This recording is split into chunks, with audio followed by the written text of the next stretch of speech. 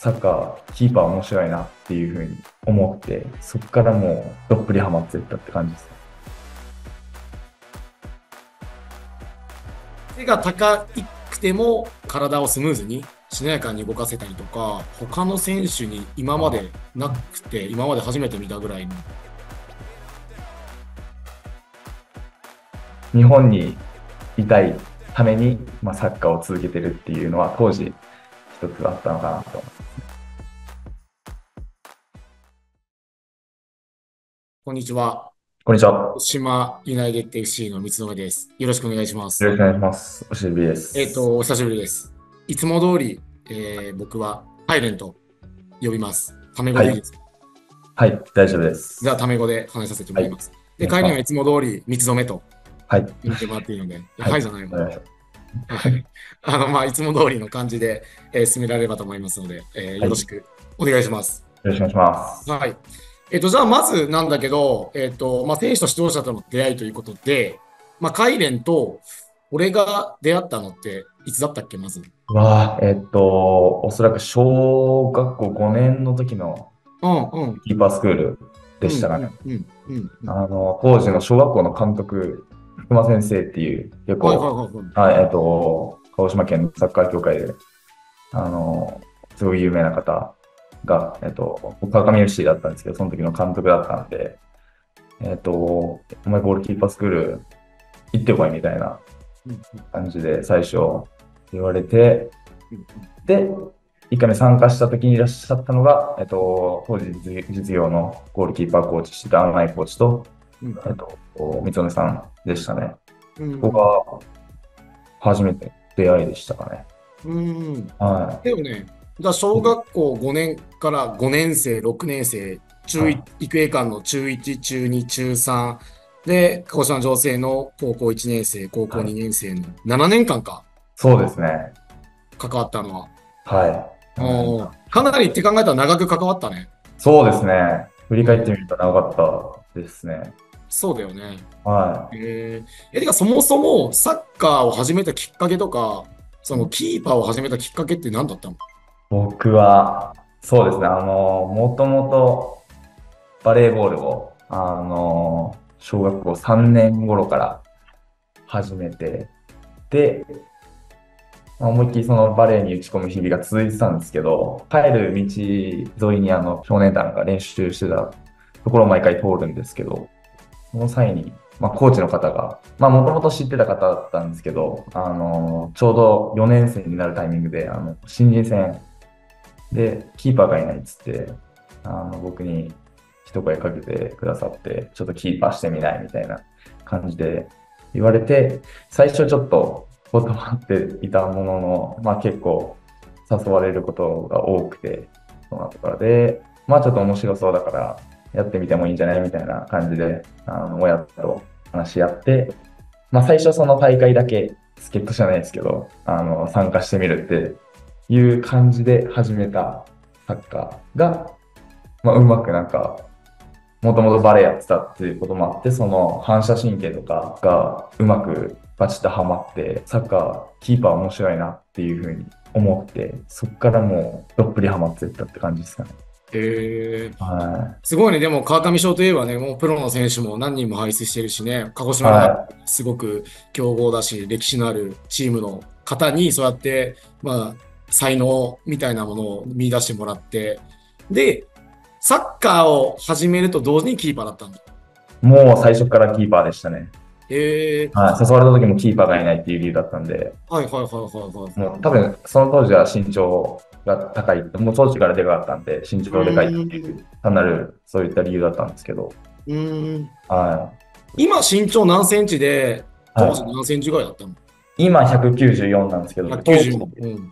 えーっと、小学校4年は、6年の時が、えっと、172とかあったんで、まうんあ、大体160ちょっとみたいな感じですかう。ーん。でも4年生で160とか、かなり大きいよね。なかなかいないですね。えー、はそのね、なんかバレーからサッカー、まあキーパーに転身するってなった時に、もうやっぱキーパーがいいってなったんだ。サッカーじゃなくて。い。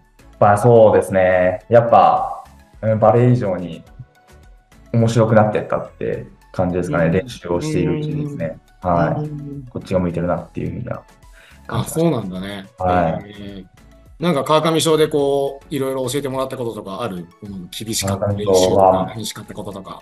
うーん、もう、ほとんど基礎練の日々だったかなって思いますね。うーん。このゴールマウスをどう移動するか、うんもう直線距離じゃなくて、もうこうやって、うん。なんとかこう描きながら、まあ、最短距離じゃないですけど、あの、ボールにいち早く先にシュートコースに入って構えるだったり、まあ、キャッチングだったり、もうセービング斜め前に行くとかだったり、本当にそういう基基礎中の基礎っていうところを毎日やってたっていう印象ですかね。うーん。はい。その、俺が5年生で初めて会った時に、はめちゃくちゃすごいなって思ったのが、い。はい。背が高いのはもちろんなんだけど、その、まあ、背の高い選手って結構いるのよ。うん、は鹿児島にもいろんなところにも。い。はでもなんか背が高くても、こう体をスムーズにしなやかに動かせたりとか、その動けるっていうのは、他の選手に今までなくて、今まで初めて見たぐらいの、い。本当ですか？うん、っていうのをすごく魅力的に感じて、すごいなっていうのをめちゃくちゃ覚えてるんだけど。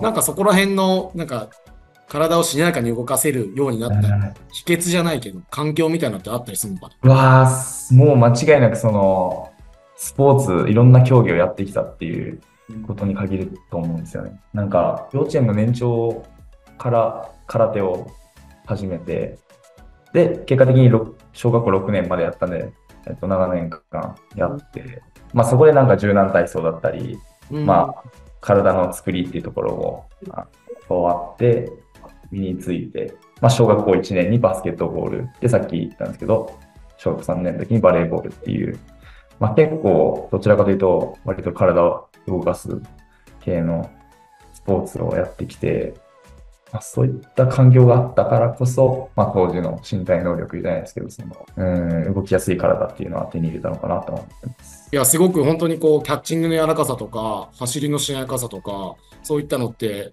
持ってない選手が持ってるものを本当に持ってたから、やっぱりそういったいろいろな競技を通して、そういった動きってやっぱできてきたんだね。そうですね。はなんか野球の大谷選手とかも、そうやってなんかいろんな競技を通して、なんか運動神経を発達させてきたっていうところでは似てるのかなって思ったから、い。はい。大谷選手だね。そうだと思います。はそうだと思いますよね。い。あはい。えーはいなるほどね。じゃあそういったまあ、なんだろう、いろんなスポーツを通して、で、まあ、川上賞のコーチの方に、まあ、才能を見出されて、サッカーを始めると同時に、まあ、キーパー始めたい。で、川上賞で活躍して、育英館中に入るんだよね。はい。うん、そうです。育英館中になんか入ったきっかけみたいなのあるの？そうですね。まあ、一番は、小学校の時の市選抜のメンバーが複数人行くっていうのを聞いて、まあちょっと知り合いも多いから、多いし、あと、まあ強いし、女性も、あの、もともと知ってたんで、そこを見据えて、サッカー頑張りたいっていう目標が一番あったので、まあ結果的に育英館を選んだっていうのはありますね。で、プラスその、やっぱ、あの、小学校の時から娘さんが教わってたともあったんで、はい。女性コーチの、女性のコーチしてたんで、で、僕が行くってなると、あの、水上さんが育英館の方にも携わるっていうことになったので、ここは非常に大きかったかなと思います。ありがとうございます。ありがとうございます。でもさ、そのまあ小学校からこう、まあ、キーパー始めて、で、身長も大きくて、まあ動きの質も高かった中で、他の選択肢みたいなのあったんじゃない？ありましたね。えっと、当時の JFA の武器アカデミーは、えっと、もう一つ視野に入ってはいましたね。うん。ここで全国の、あのサッカーを知るっていう選択肢もあったんですけど、でもまあ当時のあの僕からしたら、まあ、やっぱ親元を離れるって結構難しい選択ではあったんで、だったらまあ鹿児島の地で頑張るっていう決意に至りました。うん。あで今思い出したんですけど、もともとサッカーやってなかったら、オーストラリアに移住するっていう計画も、あのああ、なんか言ってたね。はい、あのー親と、親と話してたんで、それもなんか、日本にいたいために、まあ、サッカーを続けてるっていうのは、当時、一つあったのかなと思ああ、なるほどね。う。はお父さんがオーストラリア人で、お母さんが日本人。い。そうです。日本の鹿児島です。はい。えーちなみにお父さんもお母さんも大きいっけ、身長は？お父さんは、確か78とかだと思うんですけど、ちょっと大きい方そか。こまで大きくないんですけど、お母さんが70ちょっとあったのかなとは思いますね。うーん。すごいね。そこから194のヒル・カイレン選手が出てくると。出てくると、はい。行きました。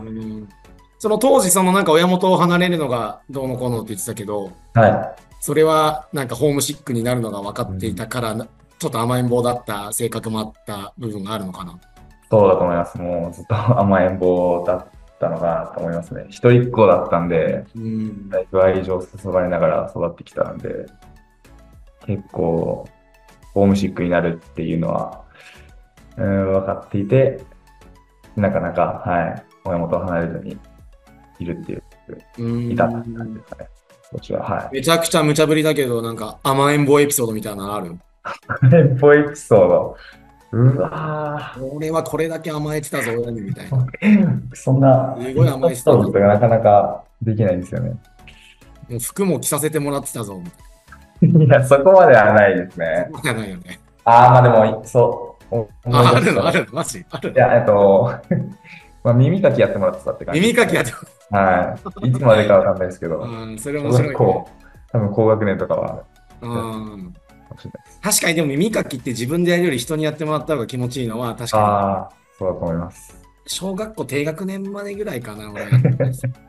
わかるけどね、気持ちが。はい。いや、そうですね。甘い。甘い、ごめん、ごめん。